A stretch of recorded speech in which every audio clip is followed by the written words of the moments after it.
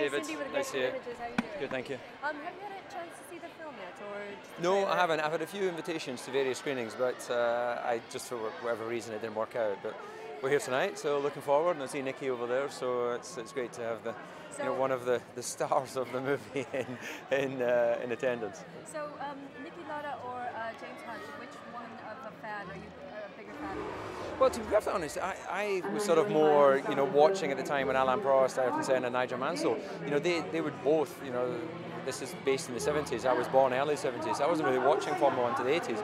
I, I was lucky enough to meet James at the time when I was a young racer and had great admiration for him. Niki's been active the whole time in Formula One that I was racing there. So, uh, you know, I've, I've sort of equal admiration for them both.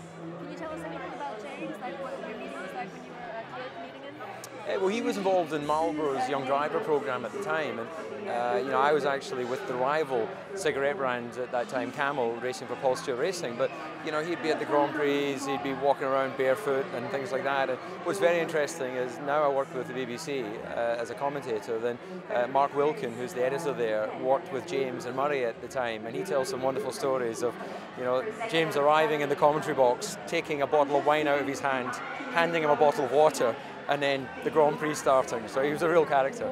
And do you think that, um, I mean, the 70s was sort of the golden age of racing. I mean, the things that James got up to, can't really get up to that into that uh, these days, can you? I mean, it was just kind Uh, the world's a changing place. You know, you can always look back with rose-colored spectacles, and we all do.